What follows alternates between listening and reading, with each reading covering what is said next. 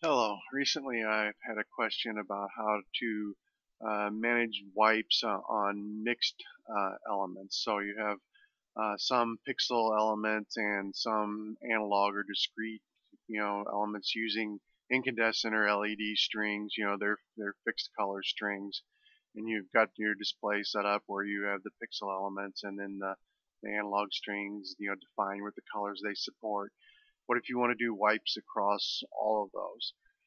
Uh, you can do them in, in various ways, and uh, the simplistic way, you know, is you know you just basically get the colors that that work together, and it doesn't allow you to use the whole thing. So I'm going to show an example here of some various ways to do this. So um, I'm going to start with um, uh, some elements from from my display here. So on the left hand side here, this is a pure pixel tree. Uh, these items in here are mini trees. They have uh, multiple strings of red, green, and blue. Uh, this is another big string tree here that supports red, green, and blue strings. You know, more of the four on the side here. Same thing, red, green, and blue strings. And another full pixel tree on on the end here. So I'm gonna I'm gonna work with these elements here to kind of demonstrate you know how to how to marry the two of them together the the discrete analog type elements here along with the modern pixel ones on on the right. So that kind of gives you a, a, look about how the um, display is organized. So the first thing that you you can do is just take a a simple wipe here, and I've chosen red. You know, in this case, I'm putting it on a group that has all the elements on it. Uh, all the elements support red, so all my strings have red on them. The pixel tree obviously supports any color. So at this point, you know, I can make this wipe uh, any, any of the three colors that all the other all the underlying elements support as a whole. So they all support red, green, or blue. So um, in this case here, I've, I've got them red. I can go drop um, a blue on here and then everything changes and now it's you know it's all blue so that that's a basic wipe across them all of them. But um, and that works fine if you want you know a wipe of one color that everything supports. But you know that can be kind of mundane or simple at that point. And you you might want to be a little more creative where um, you start taking a look and saying so, you know, maybe I want my pixel tree on the left to be yellow, the, the mini trees the on the next portion of it to be red, um, the big mega tree in the middle, I want it to be green, and then the four mini trees on the right, I want them to be blue, and then the pixel tree on the end, I want to be purple. So I've got, you know, all the colors, you know, independently, everything supports here.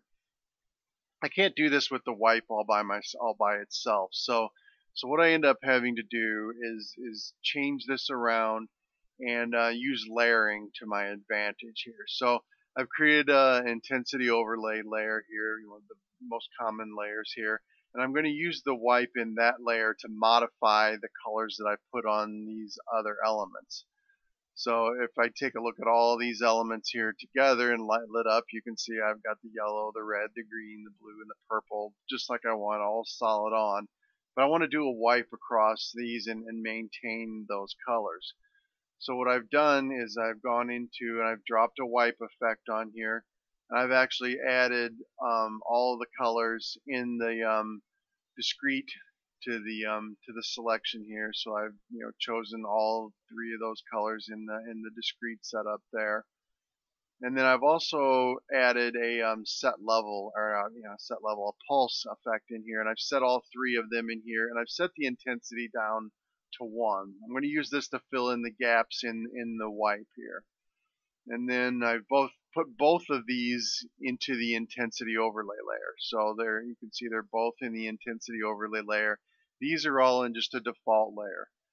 So now if I um, I take all of these and I wind them together now you see the wipe is actually modifying the, the behavior of all of the elements across there. So it's taking these these um, set level effects that are turned on and modifying their intensity to to be off or on based on where the wipe goes. So now I get a wipe across all of these items um, in the colors that I wanted them to be in. So that, that gives me a lot more creative um, ability at that point from, from that standpoint.